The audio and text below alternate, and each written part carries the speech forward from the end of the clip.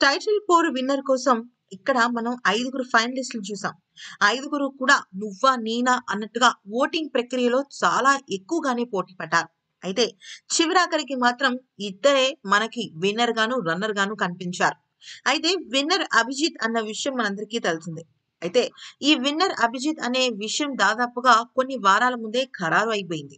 దాదాపు చాలా మంది ఓట్లు వేస్తున్నప్పటికీ ఎక్కువగా అత్యధిక స్థానం ఓట్లు నమోదైంది అభిజిత్కి. ఆ తర్వాత చాలా స్వల్పమైన తేడాతో సోహెల్ రన్నర్గా నిలిచాడు. అఖిల్ మూడో స్థానంలో ఉన్నప్పటికీ కూడా తను సోహెల్ విత్డ్రా అవడంతో అఖిల్ రన్నర్గా మారాడు. అయితే అభిజిత్ గెలవడంపై సోహెల్ ఆ బిగ్ బాస్ నుంచి బయటకు వచ్చిన తర్వాత కొన్ని విషయాలను చెప్పాడు. మేము చాలా రకాల ఆందోళనకి గురయ్యాం. ముఖ్యంగా ఆర్యానా హారిక ఎలిమినేట్ అయిపోయిన తర్వాత మా ముగ్గురులో మేము ఎంతగా ఆలోచన చేశాము అంటే మా నరాలు తెగిపోయేంత ఆలోచన చేశాం. చాలా లోన్లీగా ఫీల్ అయ్యాం. ఏ క్షణాన ఏం జరుగుతుందో అర్థం కాని పరిస్థితి అక్కడ నిలబడింది. అయితే అభిజిత్ విన్నర్ అయినందుకు నాకు చాలా ఆనందంగా ఉంది. కంగ్రాచులేషన్స్ అభి. తను తన నార్మల్ గేమ్ని ఆడాడు. తను చాలా సటిల్గా ఉంటూనే తను తన సొంత స్ట్రాటజీని యూజ్ చేశాడు. తను నిజంగా చాలా గొప్ప మనిషి.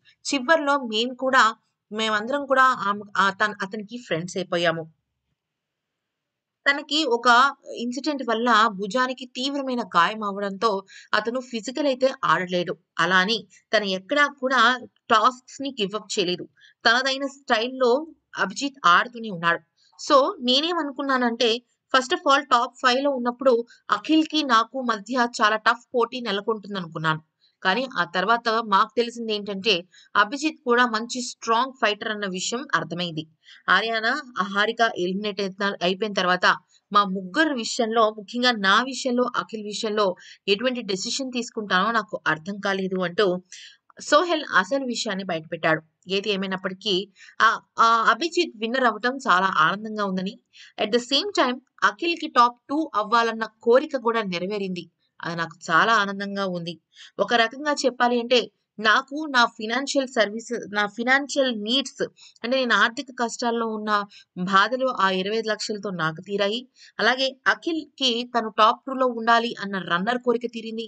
ఇక అభిజిత్కి తను ఆడినందుకు గాను విన్నర్గా టైటిల్ వచ్చింది. సో నేను దేనికైనా హ్యాపీగా ఫీల్ అవుతున్నాను అంటూ సోహెల్ చెప్పడం జరిగింది.